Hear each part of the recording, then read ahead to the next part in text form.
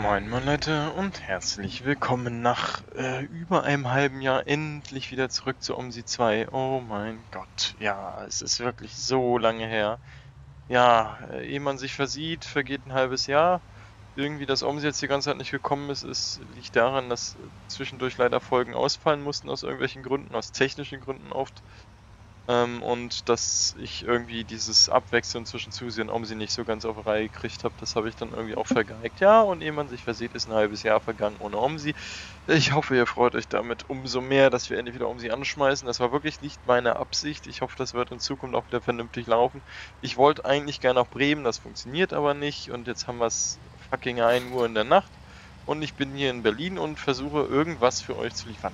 So, okay, wir setzen uns einfach mal unseren Leasing-MAN rein und schmeißen ihn noch direkt an, denn ich glaube, ich habe jetzt auch keine Lust jetzt noch ewig zu warten. Wir kriegen direkt erstmal einen Fehler. Also ich habe das Gefühl, um sie können noch ein paar Fehler passieren.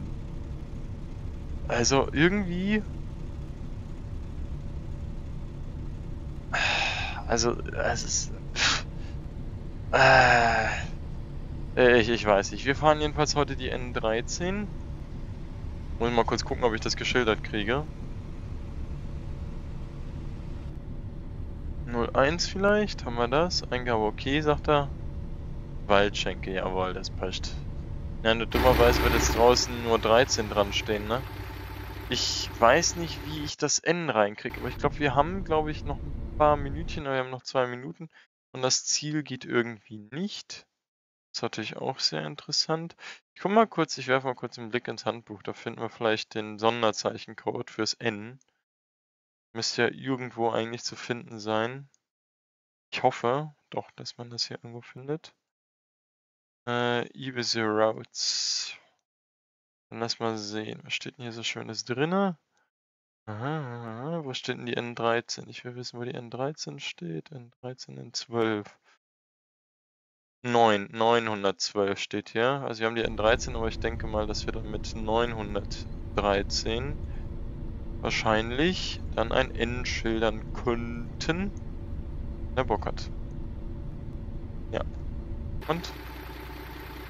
Er zeigt eine 913 an, natürlich. Wahrscheinlich müsst ihr dann ins Handbuch schauen von Dings. Das klappt. 913, also eigentlich richtig. 110, 086, das sind die Zielcodes, ne? Ja. Ja, okay, cool. Ja, hm. Bei Schildern will er draußen nicht. Ich hoffe aber, die Fahrgäste konnten hell sehen. ja. Hm. Okay, jetzt haben wir noch eine Minute, dann schmeißen wir mal einen Gang rein. Ich weiß gar nicht, wo wir jetzt eigentlich hin müssen und warum ist das Spiel so unfassbar laut. Gib mir einen Moment, das muss auch mal leiser hier. Meine Fresse, das sprengt mir die Ohren weg. Äh, ist auch kein Wunder, ist auch voll aufgedreht. So, zack. Schon besser. So, was sagen Sie? Wollen Sie hier schon einsteigen, oder? Ich weiß nicht, ob Sie hier schon einsteigen wollen. Stehen sie denn irgendwo hier? Sehe ich jetzt nicht, ne? Sich ernsthaft noch umdrehen? Mir fast so vor, als müsste ich noch umdrehen, ne? Okay, dann machen wir das mal. Muss ich wahrscheinlich echt nochmal eine Runde umdrehen. So, Licht sollten wir vielleicht auch nochmal anschalten, ne? Hab gehört, das soll ganz praktisch sein, mit Licht zu fahren. Ja, genau, der Shepard ist schon ordentlich hinten. Da wollte ich gerade mal kurz gucken. Oh, wo müssen wir denn jetzt halten? Nehmen wir an, das da.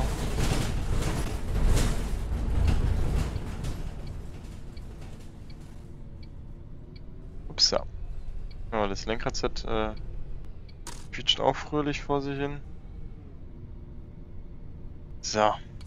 Sieht richtig aus. Hier wollen scheinbar Leute drin. Oh, opa. Oh. Ah, guten Abend. Guten Abend. So. Bin mal gespannt, wie es heute läuft.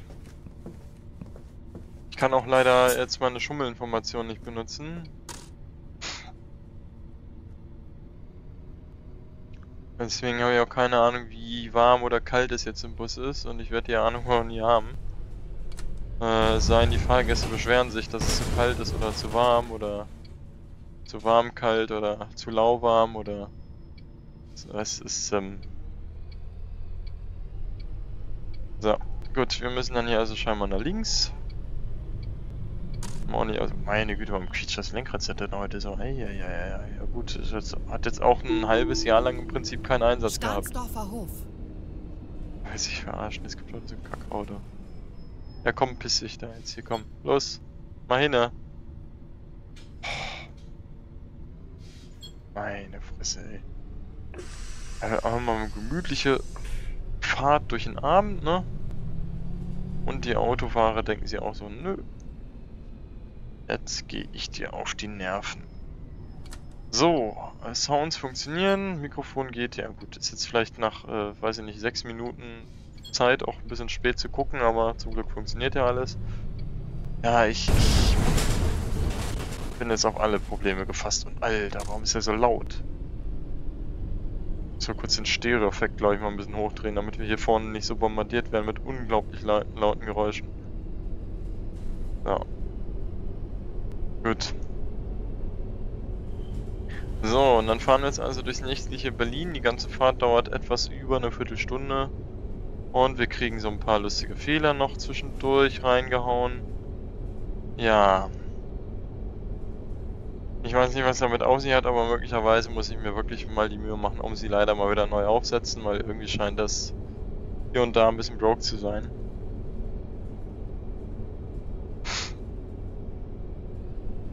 Muss ja auch mal gucken, was für eine Version ich gerade drin habe.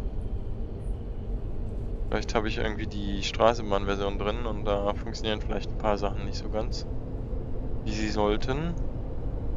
Ist eine Möglichkeit.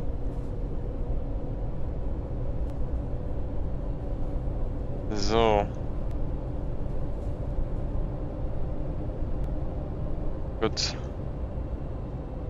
Da haben wir eine Haltestelle, aber da will niemand rein und wir haben auch keinen Haltewunsch, also huschen wir einmal rasch dran vorbei. Die Ampeln hier sind aus. Oh, gemütlich. Es hat schon was, wenn man hier wirklich so durch die Nacht fährt und... Pushkinstraße. Guck mal, ich fahre sogar auch nur 40, weil wir jetzt schon eine Haltestelle überspringen konnten. Will ich jetzt ganz gemütlich mit 40 hier lang cruisen. Einfach nur, damit wir auch nicht zu viel Verfrühung bekommen letztendlich freuen sich vielleicht auch die Anwohner, dass ich ein bisschen leiser unterwegs bin. Wobei bei 40 dürfte das möglich... Ah, wobei, ne, wir sind gerade im unteren Drehzahlbereich, ja. Unteren Effizienzbereich halt. Und da sollte ja eigentlich, denke ich, die Emission ganz okay sein, die wir hier gerade ins Wohngebiet strömen.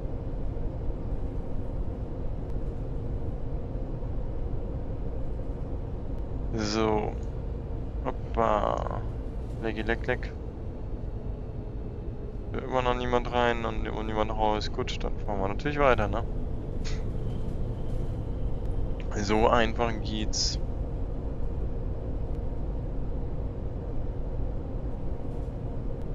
Ja, und wir fahren hier mit dem hübschen MAN von Sobol. Stahnsdorf, schwarzer Weg. Ich hätte mir tatsächlich gewünscht, dass wir noch den äh, guten Berliner kriegen in den guten Berliner MAN, weil die BVG hatte durchaus auch äh, zeitweise ein MAN bei sich fahren. Auch entsprechend mit der schönen gelben Lackierung und so ein Spaß, ne? Ja, da ist eine Dame, die wir rein, gut. Und den hätte ich halt gern gefahren, weil der hatte, also zu dem gehören glaube ich auch andere Türen. Da hat er nämlich Außenschrift. Ist ja immer noch laut. Ist ja immer noch laut. Alter, boah.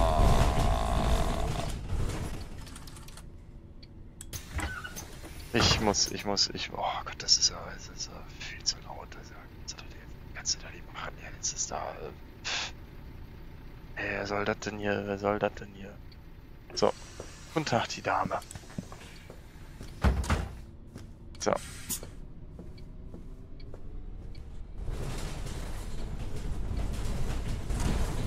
Schon, ja, ist immer noch ein bisschen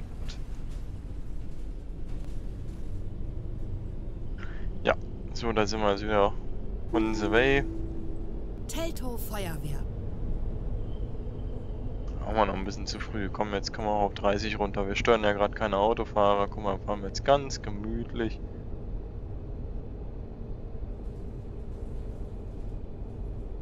Und werden dann die Verfrühung hoffentlich langsam los.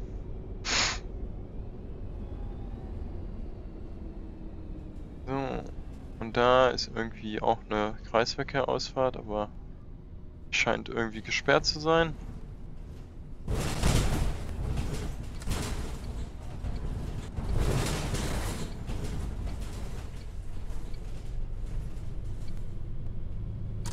So. Ja, ja, die typische OMSI-Performance, ne? Man liebt sie.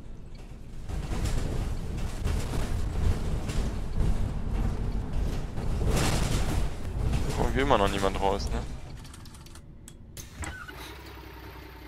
Ne? Oder irre ich mich da? Ne. Wollen alle noch gemütlich mitfahren.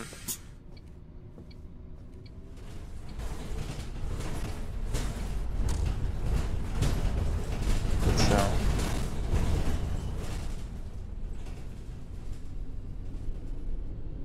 Ja, hier ist irgendwie eine Ampel dann wohl für den Feuerwehreinsatz. Ramradbrücke. Oh. Diese Verfrühung plötzlich her, meine Güte.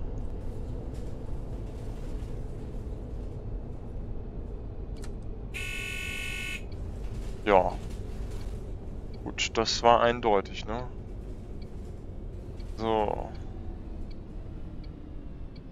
Jetzt wurde die Verführung einfach einberechnet, einfach nur wegen dieser Ampel. Was?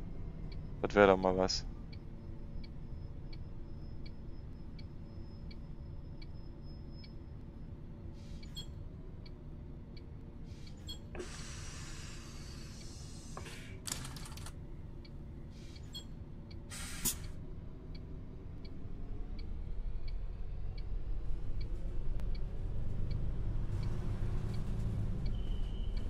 So. Okay,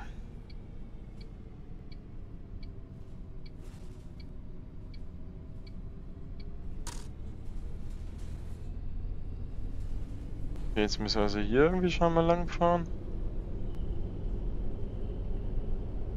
Kleinen Umweg machen zur Ramradbrücke und dann müssen wir gleich wieder die ganze Straße, die wir hier gerade runterfahren, wieder zurückfahren. Um dann da hinten links abzubiegen. Was ist ja echt, wie soll ich denn hier jetzt... Da hinten muss ich scheinbar irgendwo umdrehen, ach du meine Güte. Das ist ja mal exotisch hier. Ja. Oh Gott ey. Oh Alter, ich erschrecke mir mal wieder von diesem Lärm, den der Bus immer macht. Uff. Ah, ich verstehe, wo die Verfrühung herkommt. Jetzt halt diesen Umweg halt haben. Müssen wir mal zur Ramradbrücke da hinten? Weiß ich nicht, ich glaube an Terminus müssen wir sogar einfach vorbeifahren. Wir müssen gleich noch an der Ramradbrücke halten. Äh, Wartestraße. Ja, nee, nix Wartestraße, du. Äh? Ramradbrücke. Ja, schon besser. Das müssen wir nämlich hier einmal nach links und ich glaube eigentlich nur um umzudrehen. Also eingetragen ist die Haltestelle, aber ich sehe den Sinn halt nicht. Wenn wir hier jetzt quasi halten bei diesem Ramradbrücke, dann quasi, wenn wir umgedreht haben, kommen wir wieder an einer Haltestelle vorbei mit dem gleichen Namen. Ich denke, ich überspringe das hier einfach mal und hoffe, dass das richtig ist.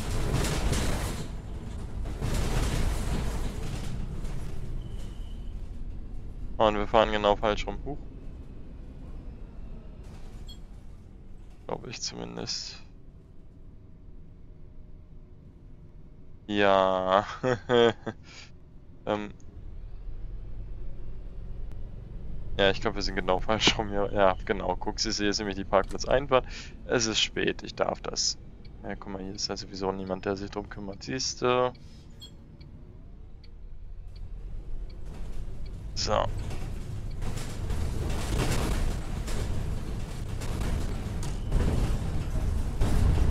nochmal nach rechts.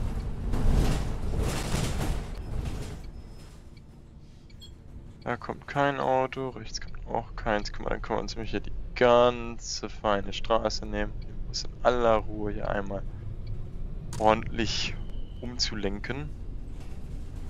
So.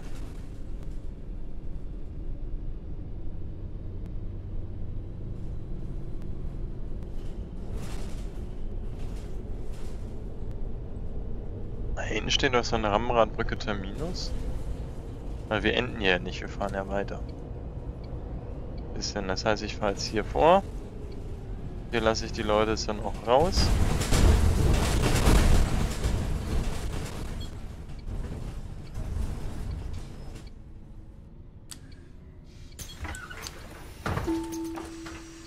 Wartestraße.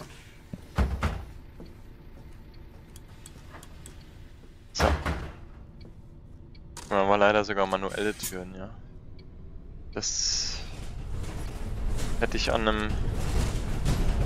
Ich weiß nicht, wie es bei den Leasing-Dingern aussieht, aber das hätte ich beim äh, normalen, äh, beim richtigen BVGler äh, dann gehofft, dass das auch schön automatische Türen sind. Havelstraße. Ich genieße das immer so. Verfrühung, ja, okay, die haben wir gleich wieder raus. Notfalls halten wir halt bei Havelstraße im Moment. Oh, Alter, es ist so laut, ey. Es ist alles so laut. Kann der Bus mal bitte ein bisschen leiser scheppern? so. Gut, dann fahren wir hier wieder unsere Runde. Guck mal, können wir sogar noch ein bisschen langsamer und gemütlicher fahren, ne? Guck mal, vor allem, weil die Taxifahrer auch immer Vorfahrtsregeln nicht kennen und deswegen absoluten Scheiß veranstalten. Gott, der fährt ja, Leute, das ist ja unglaublich. Der hat da seinen Führerschein gewonnen, oder was? Ich geh kotzen. Ich geh kotzen. Zwölf Minuten, ja danke. Ja, danke schön. Ja, danke schön, Dämmig. Oh Gott, jetzt muss er aber abhauen hier, bevor der nächste Linksabbieger wieder auf dumme Ideen kommt hier, Alter. Wehe, wehe. Ich steig aus und prügel den. Boah. Ey, so eine Kacke, weißt du? Nicht nur die Taxifahrer kennen keine Vorfahrtsregeln, auch die KI nicht. Scheinen ein Problem damit zu haben, äh, als Linksabbieger zu warten, wenn sie auf einer Vorfahrtsstraße sind. Ja, zack. So schnell holt man sich natürlich 12 Minuten Verspätung rein, ne? Warum nicht?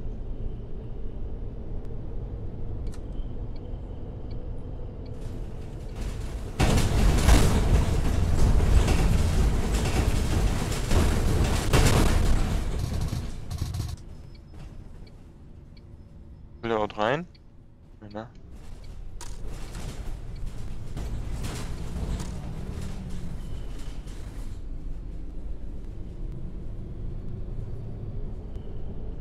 So. Ja, eine gemütliche Fahrt durchs nächtliche Berlin, dachte ich, ne? Aber natürlich sind genau die Idioten von Autofahrern alle wach. Klar. Ja, und ich wollte so richtig schön gemütlich einfach mal ein bisschen die Fahrt genießen. Wollte jemand raus, will jemand rein? Nö, ne? Ja, nee, er ist zu spät gedrückt, Freundchen.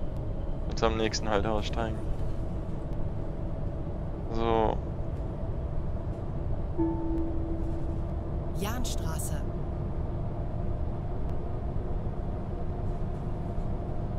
Nee, wir sind bei äh, Striewitzweg. Striewitzweg.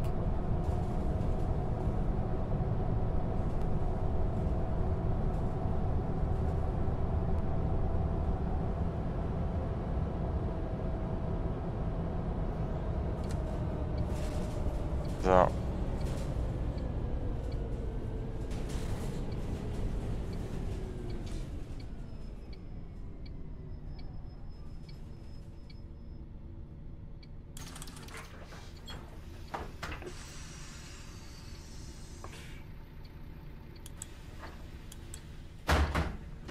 Gut. So.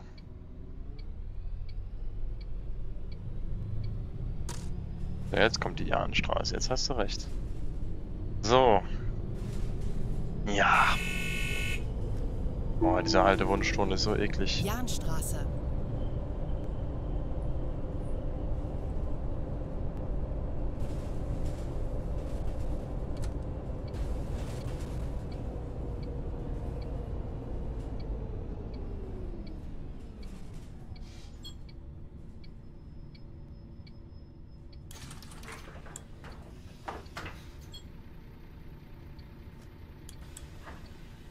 Ah, die Performance von Omsi, ich liebe sie.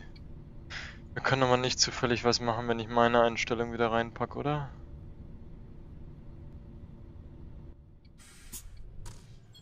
Und dann ist auch magischerweise auch gleich ruhiger. Oh doch, die Einstellung bringt sogar was, guck an. Sieht ja schon mal wieder viel flüssiger aus jetzt, ne? So. Ja, gut sagt er und kriegt einen Leck. Platz. Ja, wenn man einmal um sie loben, ne? Dann kriegst du direkt einen Grund dagegen.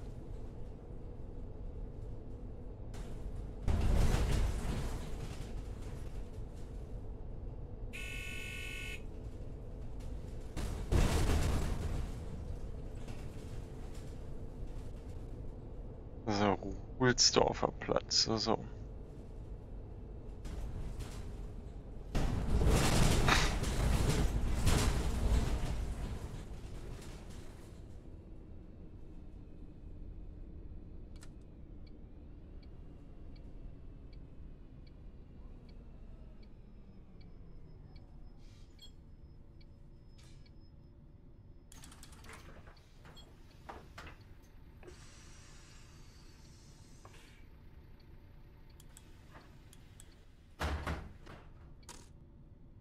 So.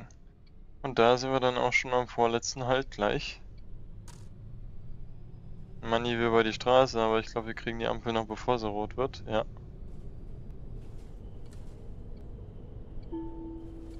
Boah, Manni, geh halt einfach bei rot rüber, wenn halt gerade niemand da ist. Simple Lösung. So. Manni, unser Manni will ja gutes Vorbild sein, ne? Dann macht sowas nicht. So. Wie zur Hölle ich jetzt hier schaffen soll, abzubiegen, ohne... Also nehmen wir mal an, ich hätte jetzt Autos neben mir, ne? Ich habe das Glück, ich habe keine Autos jetzt neben mir. Das ist sehr schön.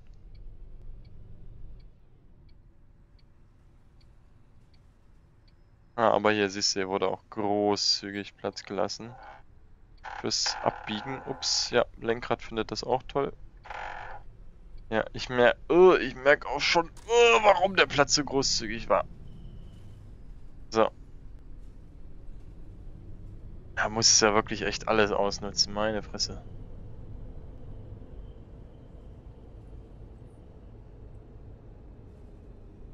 Zack. Da will niemand rein, niemand raus. Gut, dann fahren wir weiter. So geht's ja.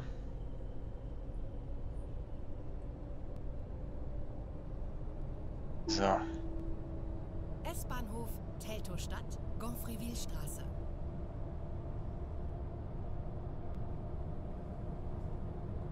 Mhm. Lecke die Leck, leck.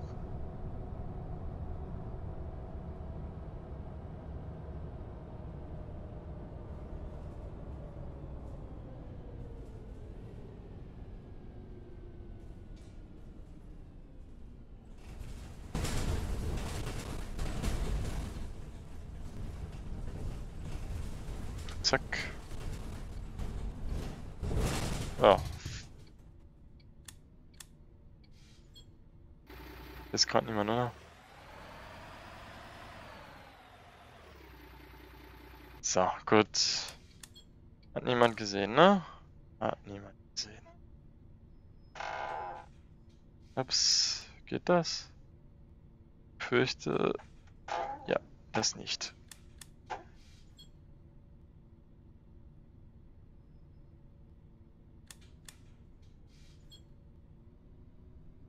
So, gut. Jetzt haben wir's. Ja, ich wollte mir eine Einfahrt zu früh raus, scheinbar. Upsa.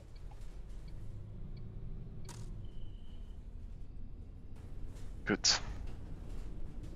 So, ja, aber ging ja noch ganz gut.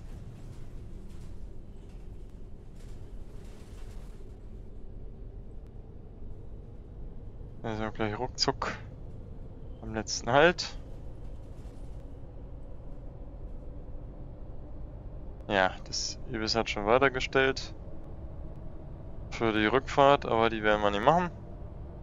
Denn wir haben jetzt so schwer eine halbe Stunde gebraucht für eigentlich eine Fahrt, die dachte ich eigentlich nur 15 Minuten dauern würde, aber gut, scheinbar nicht. Ja, ich denke aber auch durch die Lecks von Omsia äh, verlierst du schon einiges an Zeit. Das denke ich schon. So, wie kommen wir jetzt hier am besten ran? Ja, irgendwie so, ne? Ja, guck mal, hier kriegen wir sogar kleine 481er als Sitzbänke, wie schön.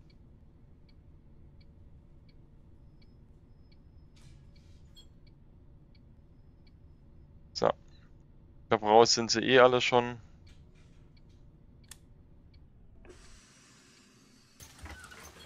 So, aber... Genau, jetzt steigen die zwar ein, aber wir machen Feierabend an dieser Stelle. Oh, jetzt kann er plötzlich doch schildern. Was ist denn da los? Kann er plötzlich doch ein, Sch ein Ziel schildern, ne? Das ist doch unfassbar. Okay, ja, aber das reicht dann auch für heute. Ich äh, danke also fürs Zusehen und sage bis zum nächsten Mal und... Ja, ciao.